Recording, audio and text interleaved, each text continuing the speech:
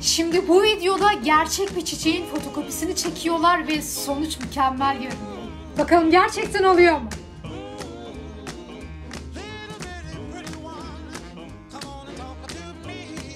şey?